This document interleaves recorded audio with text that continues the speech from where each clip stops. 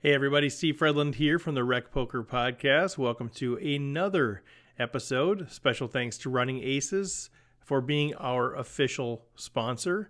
Uh, this episode's a little bit different. Uh, we've been doing a rotating expert thing where we talk about specific hands with those rotating experts, and this week we had to defer our interview.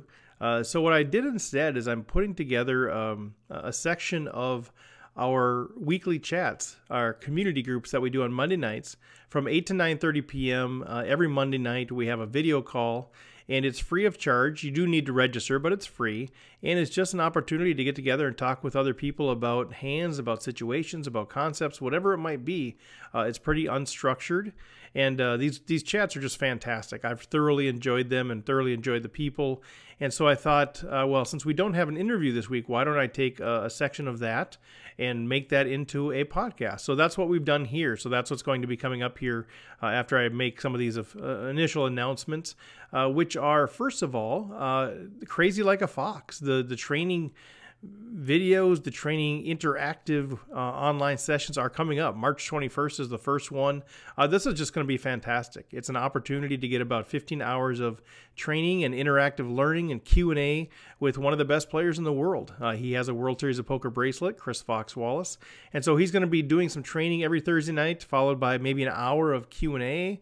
Uh, there'll be a private discussion board for people that are part of this thing, and it retails for 300 bucks. But if you are part of Rec Poker Nation, you can use the code Fox Rec Poker F O X R E C P O K E R when you register, and that will get it to you for half off. So for 150 bucks, uh, you get 15 hours of training interactive discussion. Uh, you'll get access to the discussion boards. You get access to homework. You get access to each video for a week after it airs. Uh, so a lot of really good value, I think, there uh, that you could take advantage of. I also want to mention Mike Juszczyk, uh, who is a, a, recreational poker player in Minnesota, runs an app for your phone called Froogle, F R O O G L E. And that will get you discounts at liquor stores, restaurants, even at Running Aces. Uh, and so you just walk into the store. If you have the app on your phone, it'll pop up with what coupon you can use, and you can take advantage of that. So Mike's a good guy. So I just told him, hey, you know what? Why don't I give you a shout out uh, on the podcast uh, for Froogle, F R O O G L E. So check that out as well. Uh, just also with the crazy like a fox thing, uh, I've I've mentioned we're doing giveaways. So if you finish in the top four of Running Aces Player of the Week for any given week, the top player gets the course for free. The other three get the course for fifty bucks. So congratulations to Jesse Johnson for winning that this last week, and John Sandberg, Andrew Francis, and Mark Rhodes for finishing second through fourth and having an option to get the get the uh, course for just fifty bucks. So check that out, guys. And we got one more week left uh, to try to win the Player of the Week. And last week was a short week uh, for Player of the Week because they had the Pot of Gold tournament, which I had an opportunity to play quite a bit of. Uh, there were six flights for day one. I played four of them and actually got through three times, which means two of them uh, I got buybacks for a total of 2,400 bucks. And the other bag I brought into Sunday, there was 102 people that advanced out of 750 or so. 102 advanced to Sunday. The top 72 got paid, and I ended up busting in 62nd. So I did get the money, got another 550 bucks or so, uh, and then just uh, just lost in a couple of spots uh, on the button with pocket nines, shoved into pocket kings with about 20 bigs. Uh, that lost half my stack, and then I lost the rest uh, when I shoved ace queen and got called by pocket deuces uh, and that held up for Tony Sanchez. So um, I'm fine with all those decisions. Felt like I played really well, and it was overall a great result uh, financially for me uh, for that tournament. Uh, but just a great week. Back to regular stuff now.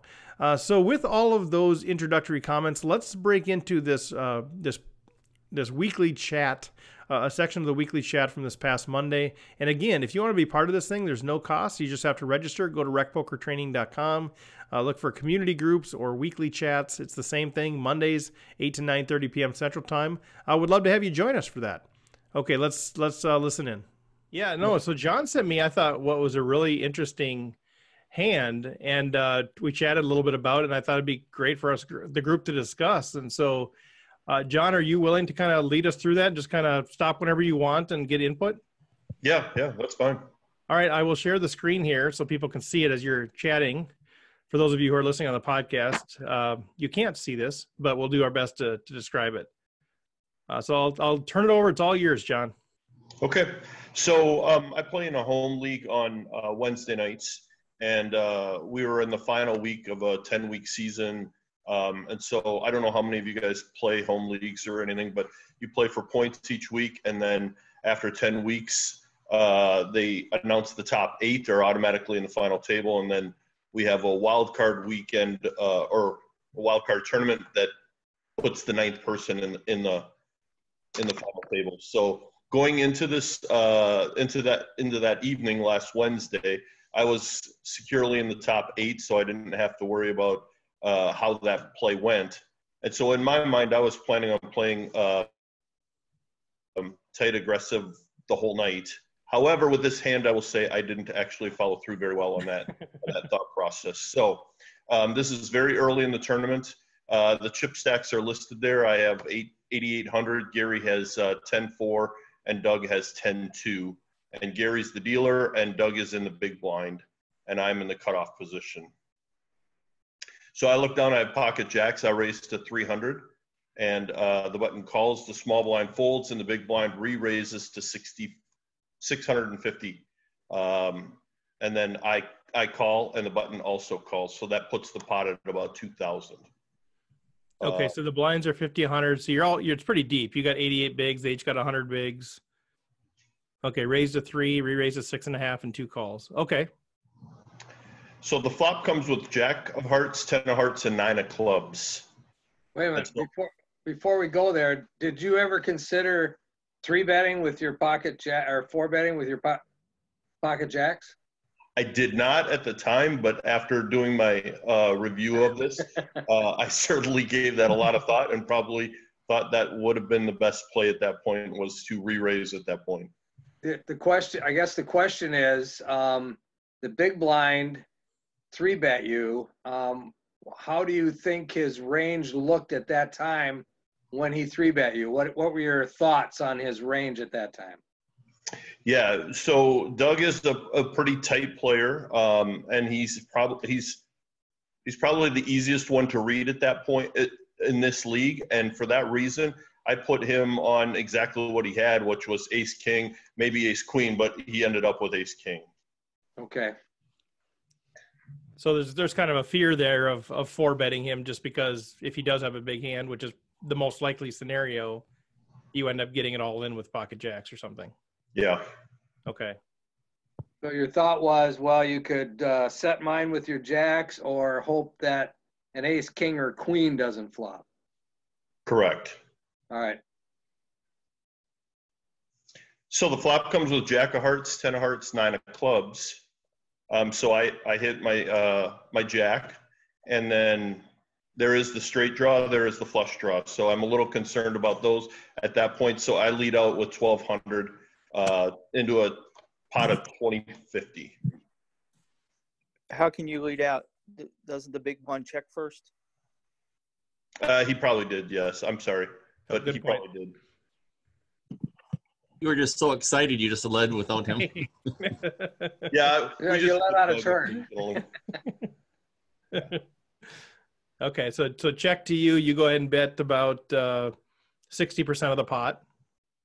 Yep. And both both uh, both gentlemen then call that call that bet. So now the pot goes to 56 50. So how did you, if you can recall, how are you feeling at this point? So you obviously you flop top set on a pretty much good news bad news sort of flop. Uh, are you feeling pretty comfortable? Are you feeling like man, I, I might want to you know slow down here a little bit. Kind of how do you how do you feel when you get called by two two of those folks? Well, again, I thought with with uh, the big blind, I figured he had Ace King is what I put him on, so I wasn't as concerned with that at this point. Um, but I wasn't as confident with the dealer because um, I play him on a regular basis in a couple of different leagues, and he he can be tricky to try to put on a range and so I wasn't sure exactly where he was, and that's what made me more nervous. So, so King Queen is very much in his range. Sure. Yeah. What seven eight? Could be, but um, yeah. I mean, at, at, that point, I wasn't as concerned about seven eight. Um, I was more worried about King Queen, or even just uh, a queen with something else at that point. The Queen of Hearts maybe with maybe do how about Queen Eight? Was Queen Eight there? I, you know, later in the later in the in the hand, I I rule out the eight altogether. I was I was thinking more uh, where he might have Queen ten or uh, Okay. Ace Queen, something along that lines. But um, with him, like I said, it's a little harder to to put him on a range uh, Okay. at that point. All right. Okay, so after the uh, turn comes the three of diamonds, and uh, so the big blind checks, uh, and then I bet two thousand out uh, into the pot of fifty six fifty, and then the button calls and the big blind calls. Wow. who said wow? Was that Rob or who said wow? Yeah, I did. I mean, going wow, what you know? What are they calling with? It's like wow. It yeah, it's Yeah, just 'cause weird. That's a big bet. And then both people call. That's kind of strange. He said it's a big. It's about a third of the pot. Uh, isn't it 2000? Yeah, into fifty six hundred or so. Was the ace king the Well- hearts? Well, Wait, let's get the uh, bet sizing. so- let's get the bet sizing clear. So, so John. Sorry, I was thinking the flop bet. Sorry. Okay, yeah, yeah. So the bet uh, he has here after the after the flop, the pot built to fifty six hundred. Uh, he bet two thousand. So about A little over third. yeah. It, it's so interesting too. It's hard for me. This is a kind of a difficult hand ranging one because if they have, I know you already kind of disclosed what they have, but if they have two pair, you'd think that they would be raising to you know raising to try to protect that. It's such a wet board. So to me, this just feels like two draws that nobody wants to overplay because most people, if they have, you know, at least two hearts here, are going to get a little bit janky on the flop and kind of rip it in or you know make a big raise. So it's it's yeah, this is kind of a weird one for me where they just call two people just call flop and turn. Unless I kind of the felt like I kind of felt like the two thousand bet. Now looking back at it, what probably wasn't enough. I probably should have went to like twenty eight or even three thousand at that point to at least get rid of one of the two. Yeah, we've had so many great discussions on bet sizing too. I actually like this size bet, but I think I, I might be in the minority. Um, Yeah, it depends on what you're trying to do. If you're trying to chase people out, that's one thing. It, or are you trying to get them to have a bad, um, I guess, bad odds to call with their draws? There's two things you're doing there. Uh, You don't want to chase them out because on the flop and the turn, you're going to get people to call with their draws. On the river, you can't because they've either hit their draws or not. So the only time you're going to get value is on these two streets. So even if you're, I mean, if you're facing two draws, your equity goes down a little bit, but you're not going to get any value on the river. So Well, typically when a board is this wet, I tend to bet bigger or I don't bet at all. I, I'm either in let's protect it or give up. So I in this with this particular flop texture, I think the I tend to agree that the 2000 was a little too small.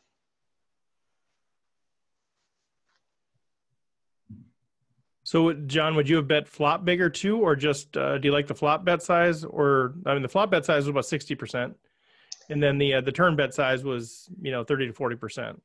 Yeah, I, I was fine with the twelve hundred, but I think I should have went higher on the on the on the turn bet. Yeah, I, I may have been inclined to actually. I mean, you're you're set up right now with almost a pot size bet. Yeah, with your whole pot, yeah, stack. Um, so you kind of have two choices. You can either try to get the maximum value out of it, which would lead to about a betting about half your stack. Um, but then you're you almost are forced to call no matter what comes on the river. Um, just in case they were going for the opposite draw.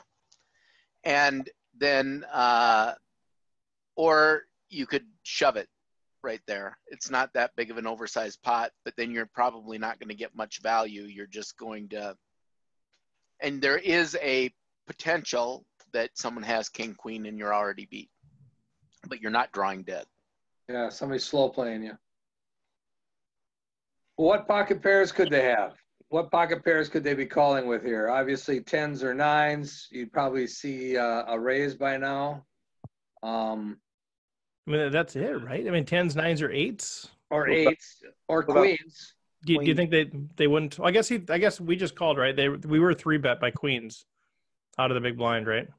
We could have been three bet by queens. Sure. That's true. So aces, kings, or queens, and I was thinking that we were the final aggressor. No, no. But yeah, it could- kings, it- queens could be there. Eights Yeah. could definitely be there. I think all of the smaller pairs are going to fold. Uh, maybe they might float the flop, but they're going to fold the turn. Yeah, I think three handed. They they for sure fold the turn. Okay. Anything else? Well, if, if you bet more than two thousand, to me, it's almost like, God, you almost almost could shove there instead. And two thousand, I could get away from if a heart came. But I don't know. I Well, if I would have bet three thousand, let's say, I'd still have six thousand left behind. So it's only a third of my stack at that point. So I wouldn't necessarily have to shove at that point.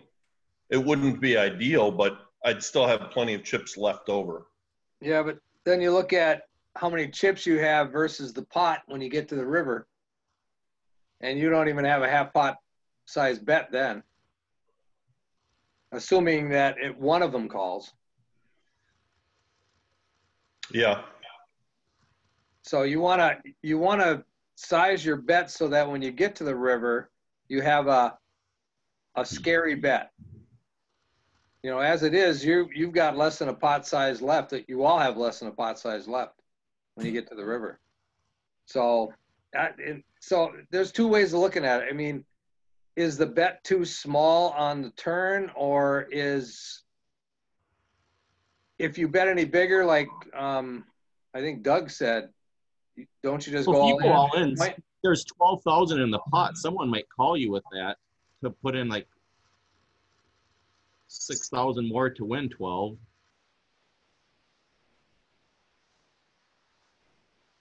I don't know. I'd be hesitant to put just like forty percent of my chips in or whatever, or even like the thirty percent. It's like I might as well just go all in here and Mhm. take my chances with it. Yeah, again, because you look at it, if they call your bet, your, you know, your turn bet, it's only two thousand. They call that bet, and you got the situation we have right here where we have less than a pot size bet left. Um, of course, so do they. But it just seems to me that you know you could, if they're going to call two thousand, they're probably going to call all in. Or you could just check the turn, hoping to get your um, the, the rest of the chips in on the river because you'd have a Mm-hmm. You know you'd have over a pot size bet then, and you could really put some pressure on them. I don't know.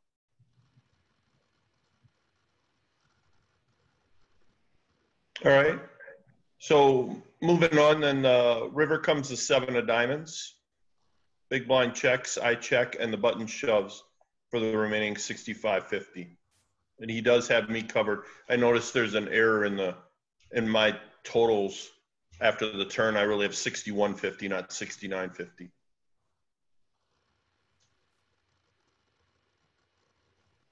Well, it shows forty nine fifty in your stack. I was wondering about that because early on, you were the you had less chips than they did Yeah, yeah, Like- they have me covered. by I about twenty thousand. I thought you had like eighty eight. You had eighty eight big blinds, and they each had over hundred. Yes. So you're somewhere along the line. You're you're what's remaining in your stack is wrong. Yes, it is. I apologize for that, but it is wrong. So that that even makes that bet on the turn, you know, a little bit, you know, because you didn't have sixty nine fifty. You probably had more like forty nine fifty, right? No, I think I have sixty-one fifty. after your uh, turn bet. I would add eighty-one fifty after the flop, and then if you take take two thousand away, I'd have sixty-one fifty after the turn. Right, and then after your bet on the turn, you would have forty-one fifty. Well, I think No, you, you put in 65.50 is after the two thousand dollar bet. yeah, you put in six fifty plus twelve hundred plus two thousand. So thirty-eight fifty. So it should leave you around five thousand or so if that eighty-eight hundred was correct. Yeah, All right. So that leaves you with a half so- half pot bet, and that's where Doug was saying, you know, maybe on the turn is where you should have gotten frisky and got it all in. Okay. Well, I, yeah, I think for me it, it comes down to I mean it's all about variance and how much variance you want to play. I mean obviously if you have the best hand, it's nice to get chips in the middle, but it increases variance. I mean if they have a straight draw and a flush draw, or if they have two pair in a set, and if you don't think they're going to fold anyway, then your shove on the turn is just saying let's just play for it all and uh, see what happens. If you you know you bet small like this, it I think the idea would be it gives you a chance to get away if you feel like you're beat on the river. Now some people are never going to fold a set on the river anyway. So I think if your intent is never to fold on the river anyway, then I like the bigger bigger uh, shove on the turn or bigger bet at least. Um, but if you're willing to say, you know what, I'm I'm going to try to get value while I think I'm ahead here, but I'm willing to fold the river. I guess I personally don't mind this this sort of play, um, as long as you just sort of have the dis- discipline to get away if you know if an ace, a king, or a queen or something, some really scary card comes. Yeah, I mean, how often are we ahead on the turn here? When it's Jack 10 9 3, two hearts. Like I I feel like we're ahead so often here, right? Yeah, almost always. Mhm. Yeah, and we bet huge on the flop and got two calls. We bet what is it, sixty ish percent or something like that. Yep. On flop got two calls. Um, we have just over a pot size bet. Like I feel like just jamming the turn here is best, just because we're ahead. Our opponents have shown willingness to call. Um, if they fold, great. We just take down the hand. But like we're so often ahead, if we can get in the money, great here. Like I would just go for it. That's yeah, I mean, I, yeah, I mean, because I, I tend to think, you know, King Queen, even on the flop, is probably going to shove over our raise just because of the two hearts out there. you Um, think they so would on the flop? I, I think they might. I mean, we both when uh, you know three handed, we bet twelve hundred, and they both just flat. I don't Mhm. know. I guess I don't know these players at all, obviously. Yeah. But if, if I have King Queen there, especially if I don't have two hearts, it'd be tempting to put in a raise there, just because you know there's there's a lot of heart draws out there three handed, or you know a King or a Queen could be a really bad card for us too. Mm-hmm. No, I, I think it's definitely possible. I So think if- it, it really depends on the player, like you're saying. It does. I mean, so so if that my point being is you know so if if we can rule king queen out, which obviously we can't in all cases, but if we rule that out, then we are we have the absolute nuts. Well, I guess let's think seven eights out there. I just don't think that's out mm-hmm. there either because that would have that would have shoved too. But you know, so we have the absolute stone cold nuts on the turn. Then if we take king queen out of the equation, I mean, there's But a lot of question- flush draws out there, and yeah, yeah, and that's the thing we is, do do we think- turn if we shove. Yeah, I that's what I'm. That's what I'm. Yeah. Uh, Do we think that they'll fold? Do we think Ace King or Ace Queen, King, you know, with with two hearts, are ever going to fold? Do we think Jack Ten's ever going to fold? Um, and but so we don't, we don't Well, yeah, want to fold. Yeah, do you care? You're at that Well- point in time, you're they have only got nine outs on one draw, one street. Yep. Means they're about want 'em to fold. twenty percent uh, draw. Your equity, you're getting, you know, about four to one on your money if they both call. Yep. So, yeah, hell, no, I, I don't disagree from an EV perspective. I don't disagree at all. You're saying Uh, just, But just but from a yeah from a just for the tournament two thousand dollar perspective- bet. From a what- tournament perspective, you know, if they're never going to fold, yeah, we want to maximize chips. But if we put in a, a non shove bet, um, and because they're going to call either way, uh, we still get some value there, and we can still get away and survive the tournament if the ace of hearts comes on the river or something like that. If we Yeah. think we if we think we'd ever fold, I Mm, understand that. okay. There is there is something to be said for uh, maintaining your tournament life, but in this spot, the equity that you're getting to me is worth the risk. So Fair for enough. me, I'm saying, yeah, normally you want to be a little more conservative in tournaments, care about your tournament life, but in this case, you're getting such good price, um, and you're also by doing this, you're you're protecting the equity you already have in the pot, and you're improving your equity on the final uh, river as well. Also, remember that they won't call on the river if they don't hit their draw. Yeah, So you those chips. that, Right. that, that's what I'm advocating a shove on the turn for. Is we we let them realize their equity. Like if they've got a stray eight in their hand, a stray queen, or two hearts, there's so many cards out there that immediately decide how they're going to play the river. If we can take away that option from them by just jamming on the turn, like I feel like we are making a more profitable decision. I guess uh, yeah, I I don't disagree with any of that stuff. It's all good stuff. I think what I mean if we if we shove turn, what hands end up folding that we are really disappointed fold that would have called this one third to one fourth, you know, size uh, pot size bet because that's part of it too. Is we're we're shoving out we're potentially uh, you know losing some equity there by forcing hands to fold that otherwise wouldn't have. You know, things like ace jack or something. I think a straight eight and a straight queen would fold to the turn where we technically don't want them to. But I think we can keep in a lot of flush draws. Um, even a, a queen with a little bit better equity, a queen jack might. Mm-hmm. Um, I don't know. I I haven't thought through like in terms of the whole range sizing thing. Right. So it's the trade off. So we get those hands to fold that we have crushed, but then on the other hand, they can't realize their equity either because they can't outdraw us if they fold. Mm-hmm. hmm So it sounds like the consensus is much more of a uh, of a turn shove here. Well, I just think the stack with the stack sizes, I think that it, it really makes sense. Now, one You're thing not to be able to put any pressure on anybody on the river, and if they don't, if they don't hit, they're not going to call a bet on the river. So Well, the the only time you're going to be able to re- realize as much value as you can is on the turn. Well, not. I mean, if they if the jack ten or the pocket tens or the pocket nines, I think you're going to get still value from that on the river. That's a very small, small portion of their range. But we don't have the range much wider than that, do we? What do you think is still in there? Do you think like King Jack is still in there, maybe, or what do you think is still in there that? Wouldn't King X of Hearts or or maybe a Queen X of Hearts keep going? And Yeah, ace X of hearts Yeah. is definitely in their range. Mhm. In the in the uh, buttons range anyway.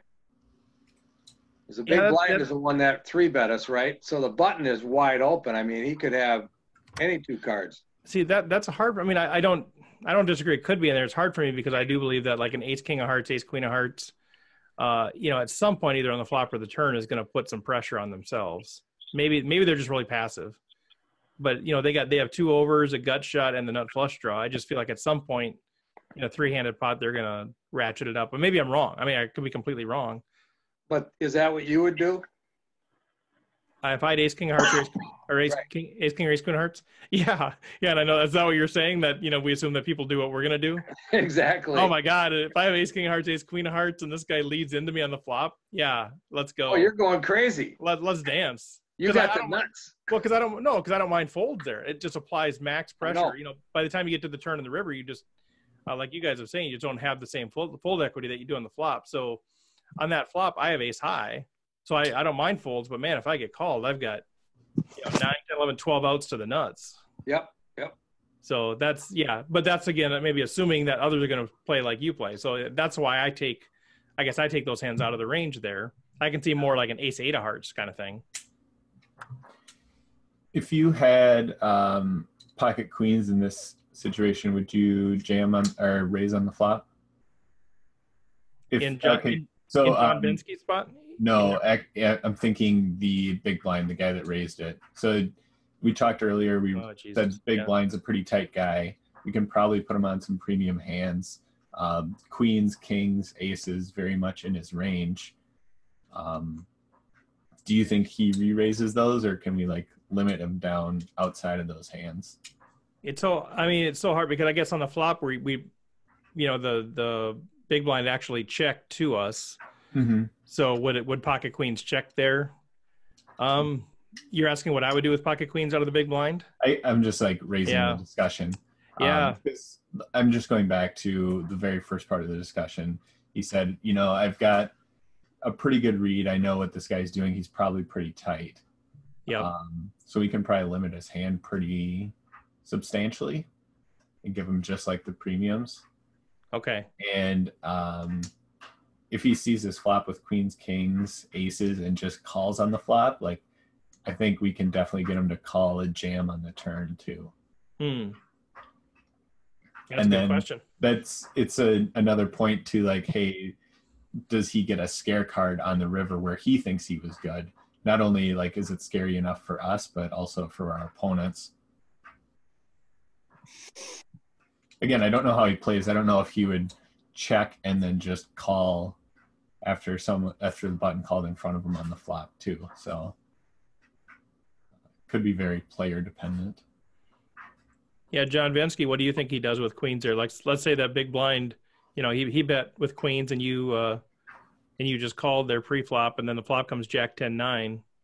How do you see him playing pocket queens? That opponent. Well, the the odd thing with that is, you know, he re-raised before the flop, but then he didn't bet out after the flop or after the turn or even on the river. So I wasn't worried about that. I I felt pretty good that he didn't have anything, and I was gonna he would eventually fold off, or even if he didn't, he would lose his stack. If he had pocket queens, I think he he doesn't check in those positions. He bets out those positions. So um, that's when I got down to the river, I was not worried about him at all. I was only worried about the dealer. okay. I think that's a safe assumption too, just based off of all the actions that the big blind took. Um, it seems so much like just ace king, ace queen. hmm Um, probably not even like ace jack. I think I think he has a really narrow range based off of the description John gave and the actions that we've heard so far. The button, on the other hand, I, I don't know what his range is like pre-flop, but um, definitely more intrigued by him because he's calling before the big blind's calling on each street that we are betting out. Right. It, it feels like, you know, it feels like he's slow playing king, queen, or he's got pocket eights, pocket nines, pocket tens. Um, maybe a big flush draw, you know, an ace high flush draw. That's kind of what it feels like to me for the button. Yeah, and then obviously like the two pairs and the one pair with a gut shot, or an open ended too. So like Queen Jack, um, Right, right. Maybe eight nine, uh, Jack 10, 10 9, all those types of hands, as well Yeah. as yeah, all the big Ace of Hearts, other stuff. Right. Yeah, since he he, he just called pre-flop, right? He just uh he flatted after John raised. Mm-hmm. So yeah, he could have any of the ace X hearts. Um, and then like you say, all those two pair hands, those uh you know, medium size you can't put them on queens. You can't put the button on queens. He probably would raise pre-flop, three bet pre-flop with that.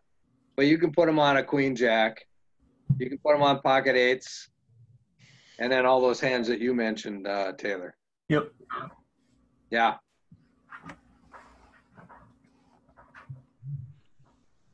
So, John, what was kind of your uh, your final assessment, John Venzke? What was where'd you come Well- out on this thing?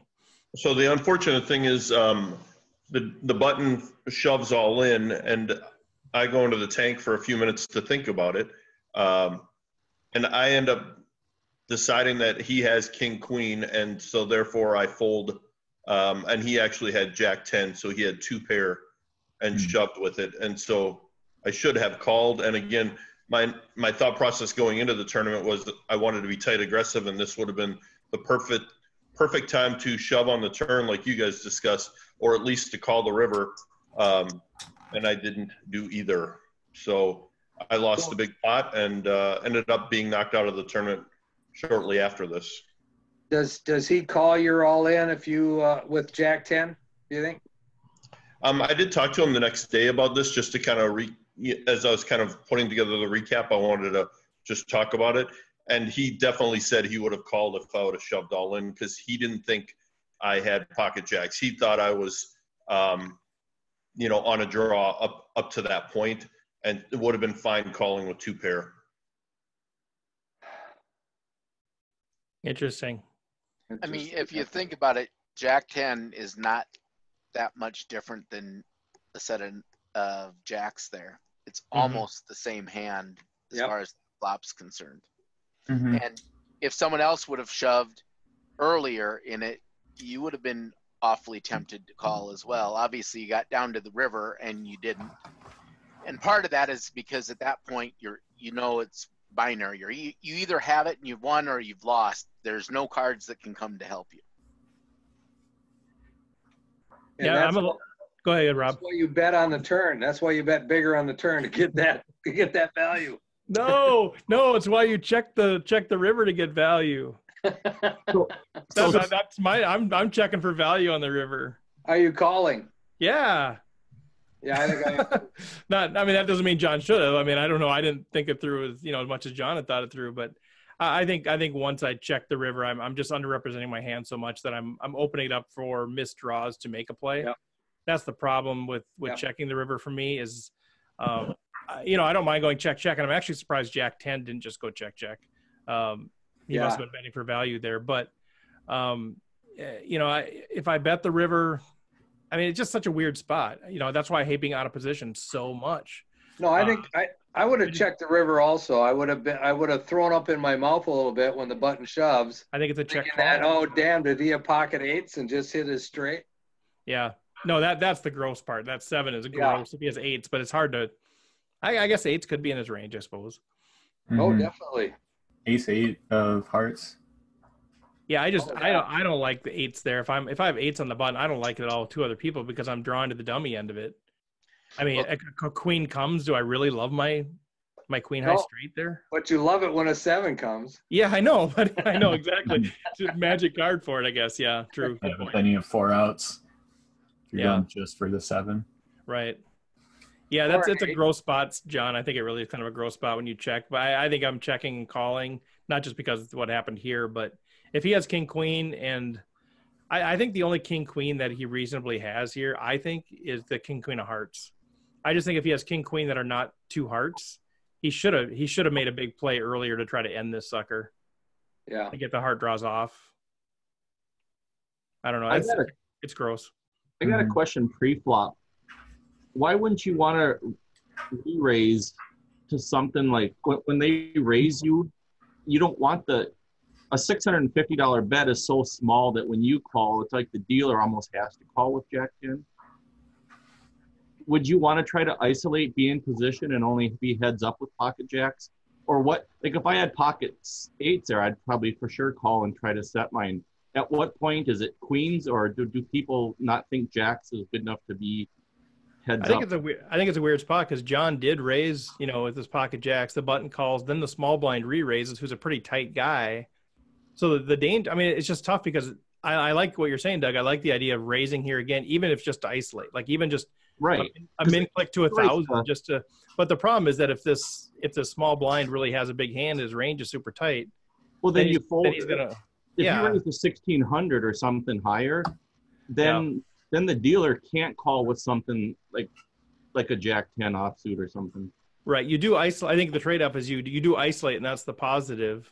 And Uh, if the, they neg- shove, the then- negative is that you get re you get ripped on. No, I know. And if they shove, I would probably be like, okay, I lost, you know, fifteen percent of my stack. I'm gonna wait and do a better Right. spot. But Yeah. What do yeah. other people think about that? Well, I Well, I'm think just go ahead, John. Well, I was going back to, you know, if Steve, you, you mentioned that you don't like to play out of position. Well, here's a perfect example of so, how you can take control of that, and that's by Yep. four betting the flop. And um, I would have been in that position given those raises. You're either going to play it three handed in middle position, or you can four bet, and either if if they do have you beat, if they have kings or aces, they're going to raise you.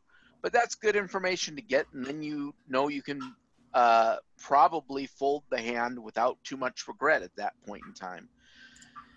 And you know you're losing a little bit of equity if you happen to hit your set, but that doesn't happen very often, although it did here.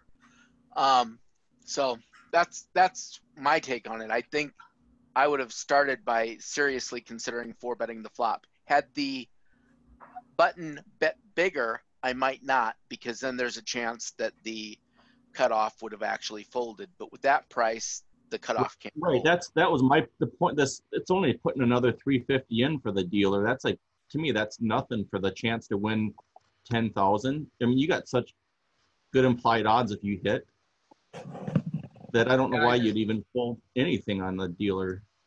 Yeah, once they call your 300, they should never fold to the to the raise to 650. Right. I mean, I think I've I've got position on the person at three bet. Uh, yeah, I still got the button behind me, but I, I, it's a good, it's a really good point. I think for me, it's the trade off of trying to isolate, get heads up in position, which is a huge positive situation, versus the risk of being four bet off my jacks, which kind of sucks. But what's the what like queens would you raise there if you had queens, Steve, in the if you were John? Like what is or like to me almost like jacks is kind of iffy. Uh, queens, kings, or aces, I'd I'd four bet for sure, I think. But tens, I'd probably be like, I'm gonna try to set mine. So jacks is kind of like right on that border for me where I'd be like, well, maybe I want to set mine, but maybe I want to isolate too, just to get heads up. And Yeah, I think for me it becomes kind of player dependent. I think I think there's a, a number of situations if I'm going to flat with pocket jacks, I'll probably flat with pocket queens too. Hmm. Um, but if What it's a, if it's if it's a pretty aggressive uh, person that's three betting me out of the blinds, then I think both jacks and queens is a raise for me, and tens probably is too. And he said he said uh, the player was pretty tight. right, I'm just I'm just noticing that it's that three bet's almost like a click back. Yeah, Yeah. It's only It is. six It's- hundred it's a- fifty. yeah, it's a, it's a, like doubling. Yep. Right. So it's he's just like men raising there, and and that what does that tell us? It depends on the player, man. Sometimes that's just, uh, you know, sometimes that's aces. Yeah. But it's small enough that you could four bet and get away from it. Yeah, I think that's I think that's the guy's point. You know about the the the the merits of four betting. There is you can actually four bet fairly small here Yep.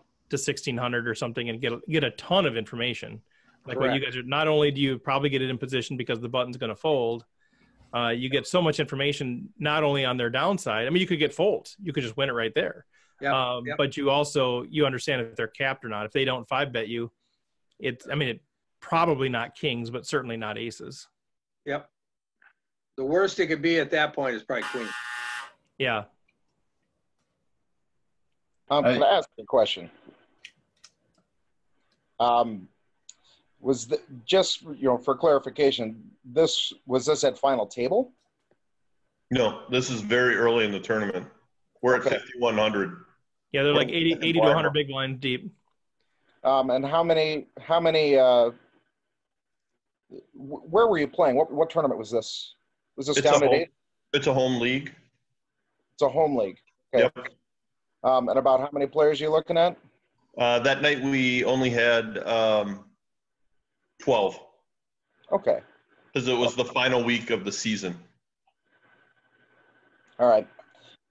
Because I I've had some conversations with Heidi Ro- Rogenkamp about this, um, and she she takes coaching from Fox pretty regularly. She works very closely with him, um, and one of the things she imparted to me, and I, this may this may be more relevant to a larger field, um, but as a general rule, she said, particularly early in the tournament, um, you might want to consider playing tens and jacks as though they were smaller pairs. Um, now, in a 12-player tournament, maybe that's not so so much the case.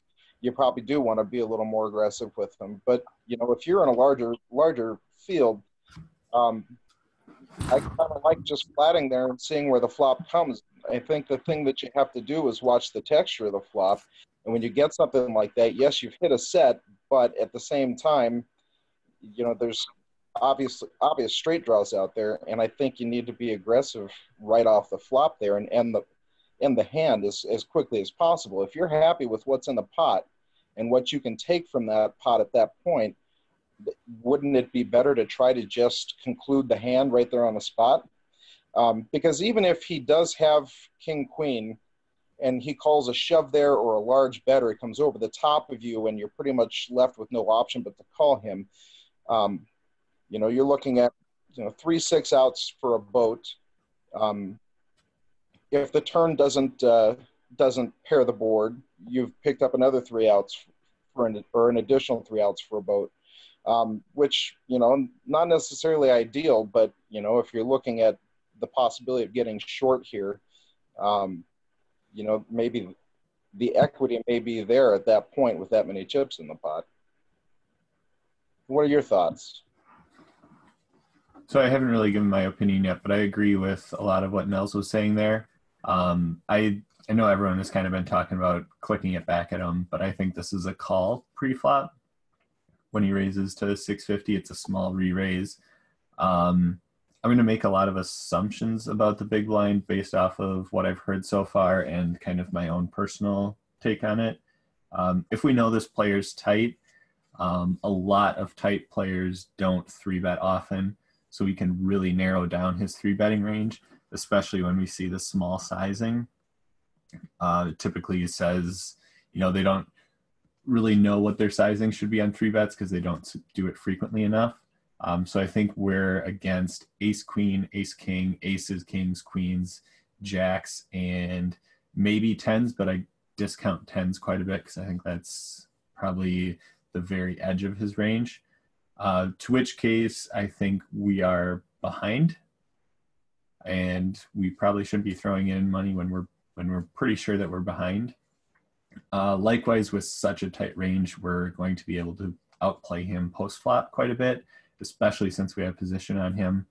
Um, we're kind of turning jacks into a set mining hand, so we don't mind if the button calls. Um, plus, we do still have some playability if it does come, you know, lower than a 10 on the flop. We have the overpair. Um, we have a lot of equity that's somewhat disguised because we did just call pre-flop. Um, so uh, to, I think it was Doug's point before, like where is the edge in terms of where we're four betting and where we're just calling? And I think this is it with jacks. I think queens um, we're ahead of his range just slightly, uh, but with jacks we are behind and uh, would probably play better as a call and just kind of like see the rest of the hand in position especially since we're so deep. Uh, like Nels was kind of saying, like we're so deep in this, like jacks really don't have the same value as when you're later in a tournament and everyone's short stacked. When everyone's playing with 100 big blinds, um, jacks kind of lose a lot because you can lose a big pot uh, pretty easily. I'm off my grandstand. No, that was good, dude. good stuff. Other thoughts on that?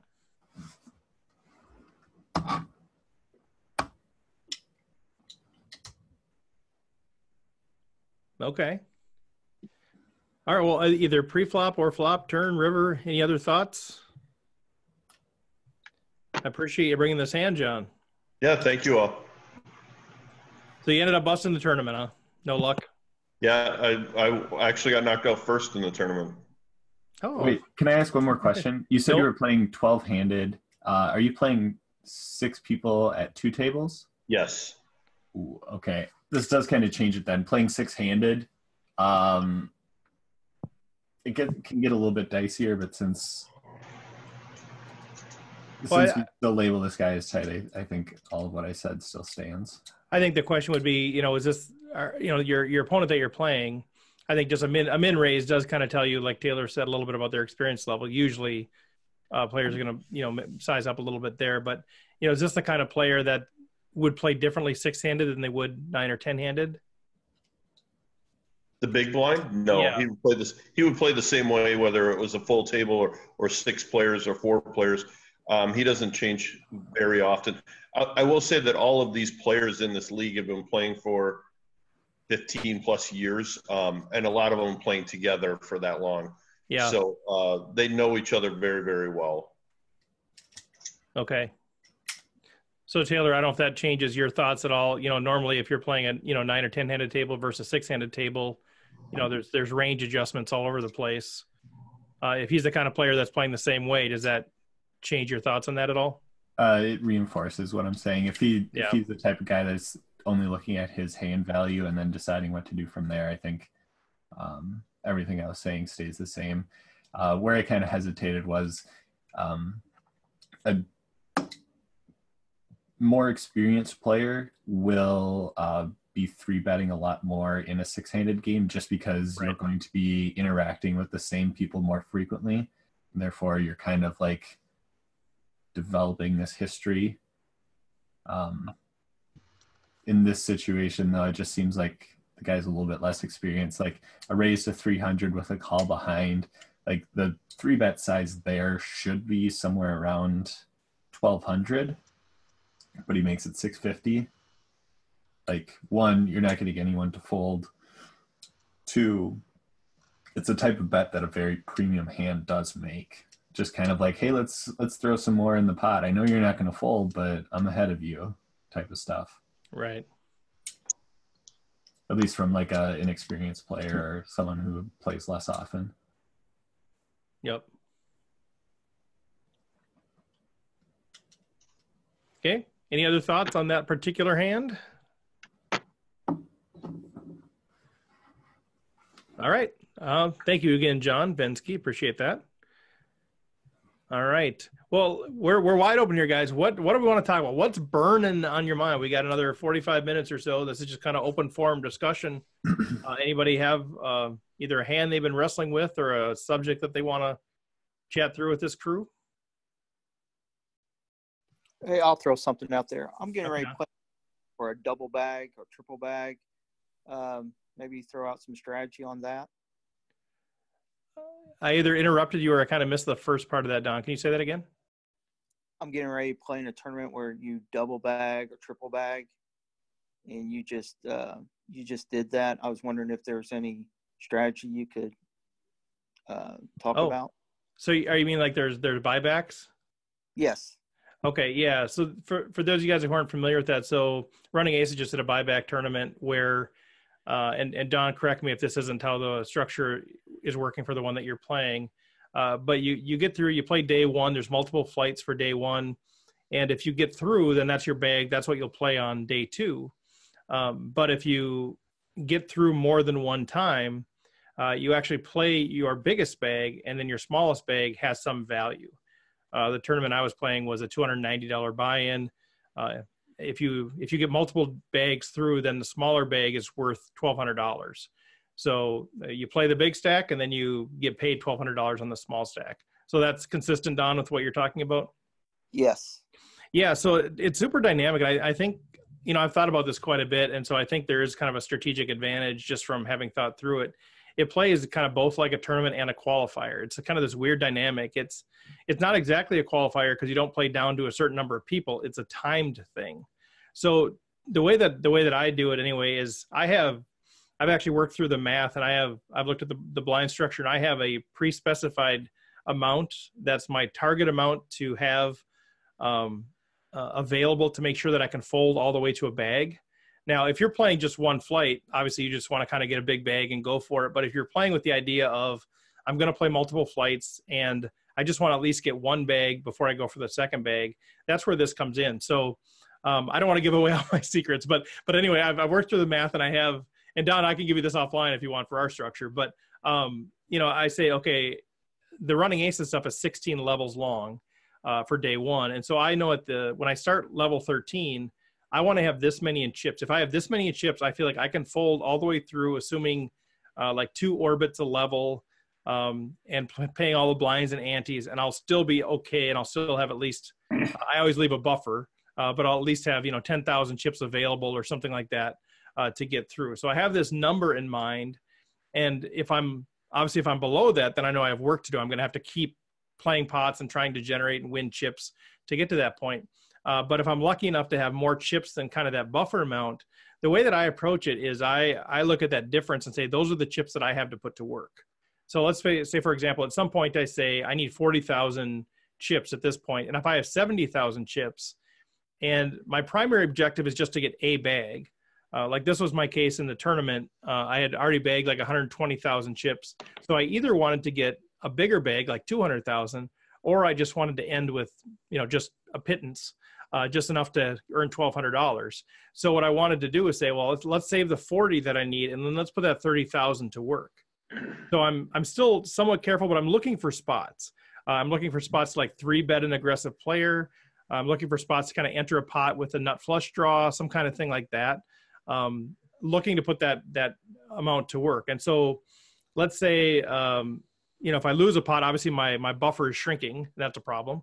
But if I win a pot, all of a sudden now I have a bigger buffer. So now instead of thirty thousand, I maybe have sixty thousand that I now have available to kind of put to work. And so now I'm looking for big spots. Like uh, maybe there's an all-in shove for thirty thousand, and I have an opportunity to close the action, where I maybe would never call with Queen Jack, but I might do that in that situation because I'm gambling because those are my kind of my play chips uh, to try to go big or go home. So I guess that's that's how I view it in kind of a high level strategy is here's how much I need to make sure I don't screw up and lose, which I almost did the other day.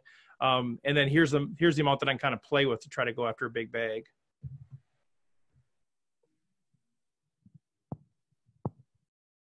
So any thoughts on that, Don? Does that kind of resonate, or does that kind of answer your question, or not really?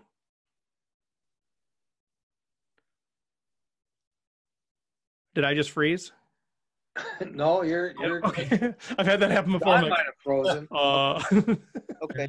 I play- sorry, sorry, sorry. Your microphone wasn't on. My my microphone microphone wasn't on. No, Don, did that help at all, or is that not what Yeah. you're looking for? But we play down to ten percent. The On- tournament we ten percent. So you play all the way down to the cash then. Yes. Okay, so so day two it starts as a cash. So that that's more like a traditional qualifier then, right? So you're not playing it. It's not a timed amount at all. It's just once you hit ten percent, it just ends. Yes. Oh, interesting. Okay, so that plays more like your traditional qualifier then. Uh, once you have a bag, but I guess you still have that sort of. You're trying to get a big bag, yet you want to keep some bag. So you can't quite use the same methodology I use because I've got kind of this buffer built in because I know it's a timed thing. Like I know they're going to play through the middle of level 16, and then they're going to draw a card for between two and six hands. So I can really uh, plan out how many chips I need to save. Uh, that's a different than you know more of a traditional qualifier where there's no time limit. It's just until everybody busts. So that's a little bit trickier there, I think. Uh, but um, then I then I suppose I, would probably go back to more of my I have a qualifier strategy too, where I have sort of a here's here's an amount that I I want to get to to feel comfortable with uh, in a in a standard qualifier. Uh, so I still kind of have a buffer there, but it's a little bit trickier to navigate as you start getting short there. I don't know, Okay. anybody else have any other thoughts to help Don? So it's a basically it's a qualifier plus. It's a 10% qualifier, but uh, I also still want to build a stack. It's kind of this tension between preserving and going after a stack. Well, one thing you have to do in a satellite, you have to pay attention to what's going on on the other tables.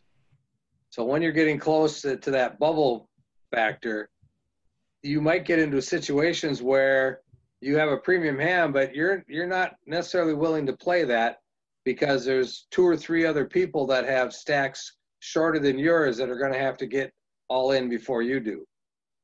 So if you're playing it like a satellite, that's the main thing is to really pay attention to where you are in a tournament and how many people are left to bust and where your chip stack is in relation to the shorter ones. Right. Got it. Yeah, I'd say yeah, I agree. And part of the overall strategy is just how many how many flights are you going to fire? Is this your first one or your last attempt? Uh, you know, how comfortable are you that you can bag if you just get something through? Um, I think those are kind of your overall things because some people say, well, I'm not going to play it like a satellite. I'm going to either get a big bag or or nothing. But you also have this weird dynamic that not weird, but a different dynamic than I had that at the end of day one you're in the money too. So it's it's not just the day two bubble. It's not just your buyback bubble. It's actually your money bubble. So you've got a big bubble going on there. Well, if you, if you know you're going to play more than one flight, then then you need to play each flight like a satellite. But if you're only going to play the second flight, if you cash the first flight, then that that's a different, little different dynamic. But if you go in knowing you're going to play, you're going to fire two or three bullets on two or three different flights, then each flight then becomes um, a war of attrition. You just want to get there, thinking that one of those flights you're going to be able to take a bigger stack out, right? Yeah, to find a spot to chip up. Because Right. I've done that before, where I've kind of gone into, I've had a, uh, you know, uh, an okay bag, and then I'm going to go to the next one saying I'm going to get a big bag, or I'm going to get nothing, or you know, just try to get a little bit, and it looks like okay, this is just going to be a grind to try to get there, and all of a sudden a spot opens up, and you're like, you know what, I, I could get busted here, but this is such a good spot. You know, I flop a set four handed against a flush draw. Um, you know, I could just fold and try to get the money, or this could be an opportunity. So you know, you you know you remain a little bit flexible where you can shift gears and say, well, this is too good of a spot to actually go after a big bag and make a deep run. Um, but I think it's good just kind of know what your intention is overall. Um, yeah. Steve, can you talk a little bit about some of the conversations we've had at um, when you get down close to that bubble and how you've taken advantage of that in in some of these qualifiers or in other tournaments too, where depending on your table, you can really add to your add to your bag just being aggressive there, or not Yeah. necessarily aggressive, but talk a little bit about some of the things we've we've talked about. Yeah, for sure. I think in a, in a situation like the one that we just played at Running Aces, where um, you know you're trying to get a bag, I, I think I did the same thing at, and had two different results depending on the table. So the first the first bag that I had, uh, I think I had thirty thousand chips uh, entering the final level, and uh, I think I needed to have twenty two thousand or something was sort of my number, my buffer number that I could survive two orbits because it was like ten thousand in an orbit in this big blind ante thing. So I knew I, I'd be fine getting through two orbits. So I had like 22,000 I wanted to have. So I had 8,000 uh, chips kind of as my, my play money, uh, which was two big blinds. And I thought, well, let's see what happens here. Uh, folded around to me on the button. I had like, you know, seven deuce. Didn't, doesn't matter what I had. Uh, I raised to 8,000 and they both folded. All right. Okay, cool. Now I've got 18,000 of sort of play money. Uh, it folded around to me again. Um, I was in a cutoff. I raised to 18,000. They, they all folded oh, I got 28,000. So I was able to, to do that and, you know, not be stupid with every hand, but kind of pick my spots. And before you knew it, you know, the last 20 minutes of the tournament, I went from 30,000 to 119,000, actually had a reasonable bag that I could play on day two. Um, I was kind of in the situation the next day uh, and tried the same sort of thing. Um, and I immediately got re-raised and the guy just looked at me like, I know what you're trying to do. Uh, so, you know, there went my buffer, there went my opportunity at chipping up, and then I just shut her down and, and folded into the money. So um, I think that is, I think the strategic advantage is just really understanding that dynamic for me of the buffer and the play chips, and then just seeing what the table lets you do and not not being afraid to take a shot at it. Um, maybe that's what you're referring to, Stacy. But that that's kind of the strategic advantage in a in a pure satellite where you don't have the you don't really have that upside potential that you're worried about at all because it just doesn't matter if you have a lot of chips. Then it's a much more I think straightforward. Um, just try to survive. Uh, but these these examples are just as weird. It's just such a weird, interesting dy- dynamic of my my number one goal is to survive, yet my number one goal is to chip up. I have two number one goals, um, and trying to figure out how to navigate those waters. But yeah, I think I think the the final table or the uh, the end of day one bubble I think is a super interesting thing because even if it's not a money bubble, Don D, you're saying in, in your case it's a money bubble in a lot of these running aces ones or the, the local ones here in Minnesota, it's not the money bubble. They advance 15% or so, and it's still plenty of work to do to get to the top 10%. Uh, you really just, you, you, chat with people at your table, you find out what they want to do. Uh, people will tell you, um, man, I've never bagged for day two. I'm just so excited to get a bag. Okay, I'm never folding to you. I'm going to keep raising you. Not to be me, but that's what they, they tell you. Or you just know some players, they couldn't care less about bagging or not. They're going to try to build a big stack so you know you can't really pick on them at all. Um, so I think I think that end of day is it's a it's an artificial bubble. It really doesn't mean anything at all. Uh, it's right. not a money bubble. You know, if it's a buyback, yeah, it means something. But a lot of times, day two tournaments don't have that situation. But there's just some sort of a psychological uh, element where people just want to bag. I'll admit I like to bag too. But man, it's such a good opportunity. I know uh, I went from eighty thousand to two hundred sixty thousand at a tournament just by raising every hand the last level because uh, everybody just wanted to bag.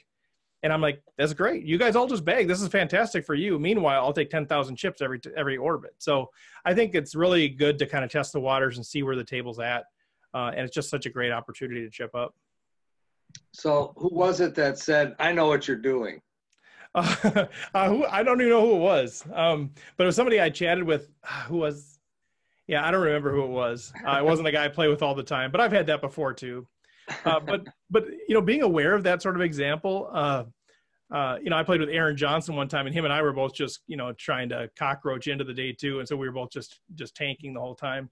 But there's a it's it's a, here's another good spot to chip up. Like I mentioned, um, well, I don't know, a few, years ago I was playing at one of these tournaments, and a guy on my right, a young guy, was just saying, oh, I just I've already got a bag, I've got like 300k, I just want to get the buyback. Thank you for telling me. Um.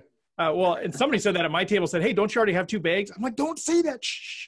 But anyway, this guy on my right said, you know, I've already got, you know, we're just chatting, being friendly, and he's like, I, I just got to get through. Well, he had like seventy thousand chips, uh, and we were on the literally the last hand of this tournament, and I had like two hundred fifty thousand. I had a nice, nice big stack or whatever. So he raises to sixty thousand out of his seventy thousand chip stack, What?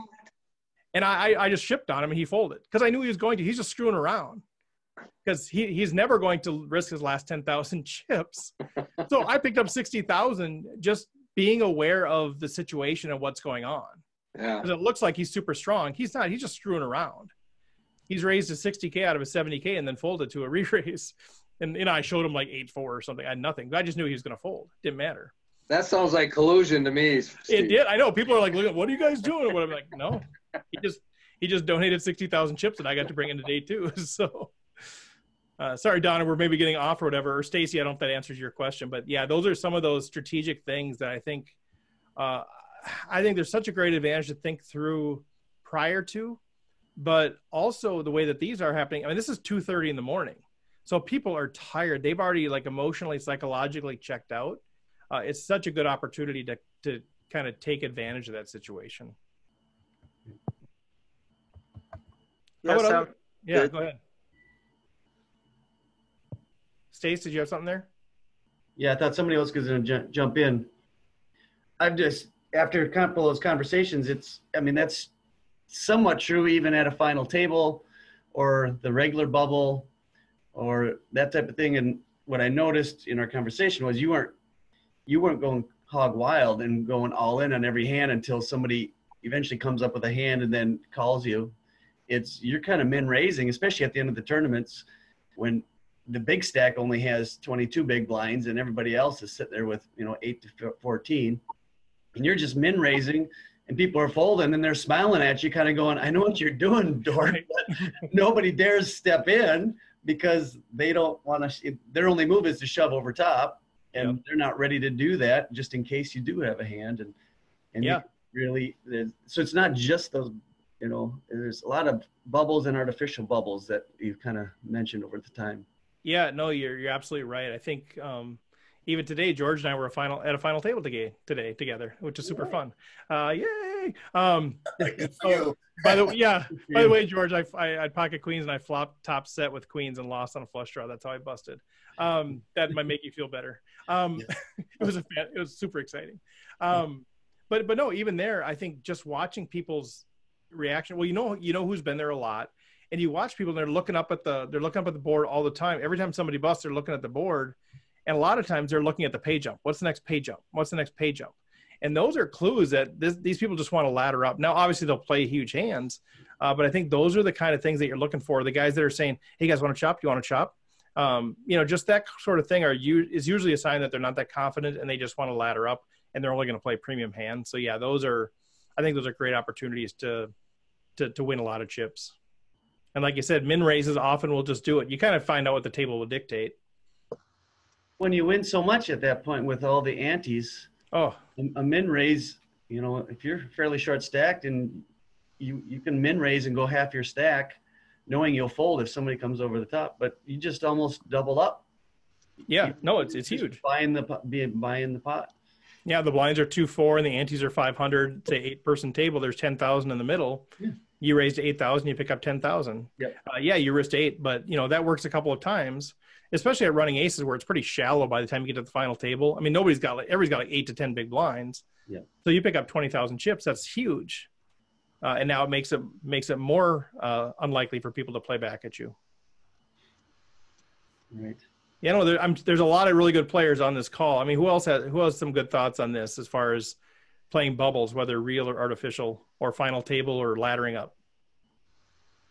Well, I think uh, in the qualifier only type situation, I've seen a lot of times where if you haven't went and checked the other tables, if there's multiple tables in the qualifier, not realizing the short stacks that are available to go out ahead of you. I've qualified three times where the next hand I would be the big blind and I didn't have enough chips to cover the big blind. Wow. I looked at the other tables, and there was a guy ahead of me that had less chips than me that had to play. Yeah. They went out, and the next hand I had half a big blind, and I would have been in the big blind.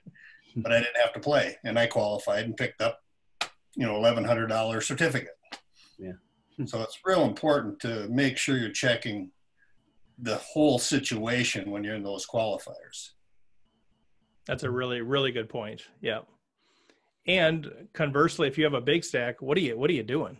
Um, it, I had this guy that had like, I mean, the average stack when you qualify at running aces, at least one out of one out of five is a fifty thousand stack, and he had like ninety thousand. I mean, he could have just walked away, and all of a sudden he just starts.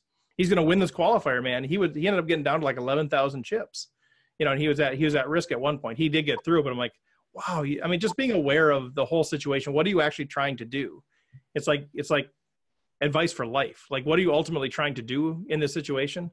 And with a qualifier, your number one goal should be I'm trying to be in the top 20% or 10%, depending on the qualifier you're playing. That's your goal. Your goal is not to accumulate. You know, beyond that, your goal is not to prove your manhood by three betting or whatever it is. Um, you know, or to, or to push back at somebody who's pushing you. Your goal is to qualify. So I think that's just a critical thing to keep in mind at all times. So whether it's like you said, George, if you're short stacked, look around, see who's out there. Don't make the mistake of of, of giving away all of your chips when somebody else is going to bust in the next hand.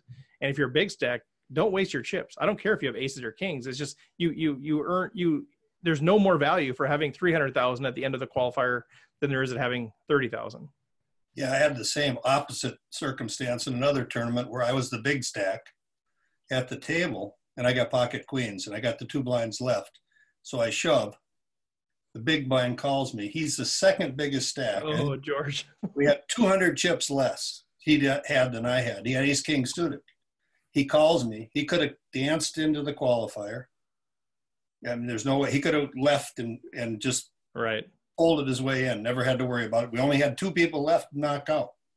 Were the two big stacks, and I, he doesn't hit his ace or a king, and he's out of the turn, out of the qualifier. But if he does, then you're basically out, right? Right. But I had already made the move. right. Right. He doesn't have a pair. Yeah. I, what, what are you doing shoving there, George? What are you doing? yeah, you don't shove there, What are you George. shoving? Don't shove. God, is that what they teach you in Princeton? Well, we don't know much, but uh, after I had, it didn't make sense for him to make the calls. What No, I'm I, I totally agree with you. I 100% agree with you. Once you shove there, he should be folding aces, honestly. Yes. Yeah. Yeah, but you shouldn't have shoved there either, George. well, you know, I am Come from. on, I'm in raised, and then you get away from from it. No, but you're you're right. I mean, you, you see it quite often, and that's always kind of my hope when I'm in qualifiers is that even when I'm short, I'm not just looking at the short stacks.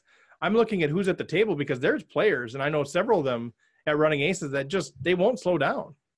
Um, so even if I have three big blinds, uh, there's actually a chance that one of the big stacks might bust just because they get into a war with each other. I'm just hoping somebody raises, somebody calls, and the flop is like Queen Jack ten, you know, because I just know nobody's ever going to fold. All right, any other any other thoughts, guys, or anything else we want to wrestle with tonight? Well, speaking of qualifiers, I was listening to the Chip Race podcast today, and Dara O'Kearney, you know, he wrote the book uh, "Saddle Based uh, Poker Satellite Strategy." Just came out, or actually hasn't even come out yet. Hmm. Um, but anyway, they were talking. They were talking about a situation. Here's a guy that had he had three big blinds, and he was he was on the. I think he just passed the blinds, so he had a he had four or five hands now until he was going to hit the blinds again. He had like three big blinds. He went and looked at all the other tables, and saw another guy that was about to hit the blinds with a shorter stack than he did. He looks down, he has pocket kings. He open folded. Yeah. Open folded the pocket kings just because, you know, he saw that there was another guy out there, and that's what George was saying. Go around and make sure you know what's going on on the other tables. You might not be the shortest stack, and there might be a number of players that are ready to bust before you do. Yep. Yeah, no, that's super good. So how did you did you get like a preview of this book somehow? No, no, I was uh, listening to a podcast. Oh, okay, okay, The gotcha. Chip Race podcast with Dara O'Kearney. It's there's Yeah. a couple guys out of Scotland or Ireland or someplace. Ireland. Okay. Okay. It's a podcast. You can get it right next to where you get the Rec Poker podcast. Oh, is there, I don't even I don't know anything about podcasts, so I You don't know, know. it's Pod Ultra. You're talking to the Yeah. poker podcast. You can't. What are you doing, Rob? Listening to other The- podcasts? Yeah, I, I know I cheated. What can I say? Post post flop podcast. I listen to the Post Flop podcast. That's a great podcast. Thinking Poker. There's Yeah. all kinds There's of a lot of really good ones. Yeah, for sure. Yep. You know, you've got a good one, Steve, but I have to admit there are others that are Oh my almost gosh. as good. Oh no, I oh my, I hope so. I hope they're far better than than than we have. I think you know we have a different sort of niche that we fill, but man, there's a lot of good stuff. And those uh, the the folks that I've met that are running the other podcasts are just they're fantastic, uh, Yeah. fantastic people. They they care a ton about the the poker community too. So a lot of good stuff. As long as you bring back your wisdom and share it with uh, Rec Poker Nation. Yeah, guys, I got that book. Oh, oh you do? you? Yeah, that book's out. All right, cool. oh, right Oh, there. Oh, You there it is. Improve. Yeah. Say say something say something as you hold the book up because that, Put that triggers the the camera. screen. Okay, can you see it? Nope. Not now. You, went, you blacked out. There you go. Now say something. Okay. There. Man, that dude looks lit. So so it is out Not now. Dara O'Kearney. All right. How what have you read it yet or just get it? I read it. It's good. Would- Okay. It's good. It might be something that like a book we got we can discuss. Yeah. No, we we've done that in the past and I actually really enjoyed doing some kind of a book study. What was there anything any big uh insights that you can remember that about playing satellites? He was talking sort of what you said. He tries to get to a uh, a certain level, like um, I don't know the formula right off, like ten times the starting stack, and then uh, seventy percent of that. Like you don't want to just get to the average. You want to get to like seventy percent of your target stack, Yep. because you know the bigger the tournaments are, because there'll be more people with short stacks and big stacks. So you don't need to get exactly to your target stack. And then he was talking about fold, you know, folding and stuff like that. Oh, that's interesting. Yeah, that, that's actually the number that I I kind of use. So I typically use. He might be talking about a a ten percent satellite. So we're the ones that I play are typically twenty percent satellites. So with the ten k starting stack, the average stack uh, when you get to the money is fifty thousand, and I use thirty five thousand as my target. So I always feel like if I can get to thirty five thousand. Um, then I feel pretty good. Obviously, you can still make it through with less, but once I get to thirty-five thousand, I feel like I don't really need to worry about accumulating. I might still take a great spot if it's there, but I feel like I can pretty much uh, shut her down once I get to that 70% of what the average stack would be when we hit the money. Yeah, he talks about chance of cashing and chance of bubbling. Hmm. Okay. Is it is it a heavily math based book? No, no. Okay. I mean, Dang there it. are are some charts. There are some charts, you know, GTO and then ICM, and then taking that in consideration. But then he also talks about playing against nits or maniacs. You have to take that in consideration because everybody's not going to do what they're supposed to do. Like, hmm. you know, you shove Right. cards and they're supposed to fold. Like he said, he he shoved with or he shoved with queens, and that person's supposed to fold everything. But he called with ace king. Yeah. A lot of people don't know they're supposed to fold. Right. Yeah, you kind of want to figure out who knows what they're supposed to do. Right. Don, do you play a lot of qualifiers? I play a little bit, not as much. I mean, every once in a while. Okay, it's one of those things that I've encouraged a lot of. Um, I mean, I liked it too, but a lot of you know starting players when they're making the transition into the casino and that sort of thing. Uh, I think qualifiers are just a, a phenomenal value.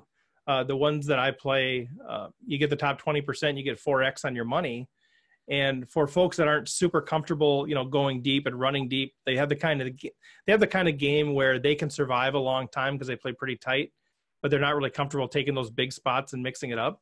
I think they have the kind of game, and I would encourage people that are maybe listening, just um, you know, if, you, if that sort of describes you, like, man, I can I can survive a long time, but I end up busting always sort of in that top. I get to the top fifteen or top twenty percent, and then I always bust.